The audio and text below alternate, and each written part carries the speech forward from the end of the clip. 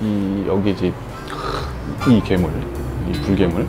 뛰어다니는 네 발로 뛰는 이 불괴물이 나오는 그 장면이 있는데 이런 괴물에 이제 뛰는 것에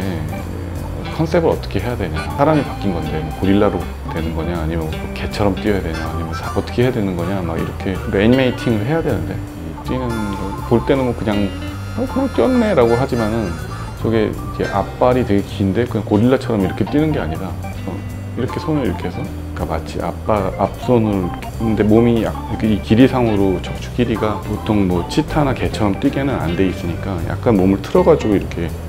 고릴라처럼 하는데 또 고릴, 이렇게 손등으로 이렇게 짚고 뛰는 건 아니고 손바닥을 이용해서 실제로 저 움직임을 만들기 위해서. 그때 당시 이제 애니메이션 팀장님하고 처음에 이제 막 그 어떻게 뛰어야 되냐 그막 이렇게 뛸까 저렇게 뛸까 바닥을 막 이렇게 그 고릴라처럼 뛰어야 되냐? 이게 아니 손으로 이렇게 뛰지 어떻게 뛰지? 그리고 막네 발로 뛰어보기 잘안 되는 거지 그렇게. 근데 그 막 고민을 하고 있었는데 나중에는 뭐 저- 그런 어떤 네 발로 뛰는 실제 사람 영상이 있더라고. 그거를 찾아 그 팀장님이 찾은 그 영상을 reference로 만들긴 했었는데 어떤 그 과정에서 이렇게 막 둘이서 막 왔다 갔다 했- 했었어요 거기서 바닥을 이렇게 뛰면서 팀장님하고 하면서 이거 좋을까요? 이거 이게 마치 침팬지들 같은 그런 모습이었을 것 같은데 일을 하는데 그때 당시 둘 다 이제 어- 그 머릿속으로 생- 상상을 하면서 이렇게 하다 보니까 집중을 해서 상황을 잊어버린 거지 그러다 보니까 이제 조용해서 딱 보니까 애니메이터 분 그 사무실에서 그랬는데 다들 쳐다보고 계셨던 좀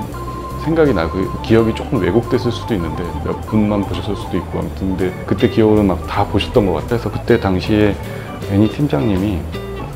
임신 한 6개월인가 5개월인가 6개월 정도 해서 이렇게 배도 좀 불러 있었었고 그리고 임산부복 치마도 입고 있었어요. 근데 저도 그렇고 팀장님도 잊어버린 거지 그런 상황을. 그래서 치마 입고 막 이렇게 해- 하니까 이게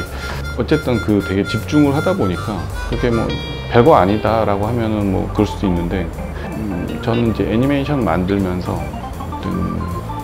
또 그런 순간들이 어떤 고민을 하면서 거기 이렇게 집중을 같이 하거나 이런 뭐 그런 상황들이 생, 그런 느낌들을 받으면은 굉장히 힘을 받고 작품을 하면서 되게 즐거운 경험들인 것 같아요. 그래서 그, 그 몰입했을 그딱 그게 딱 빠져나왔을 때도 뭔가 창피하고 뭐 그런 느낌이 아니라 굉장히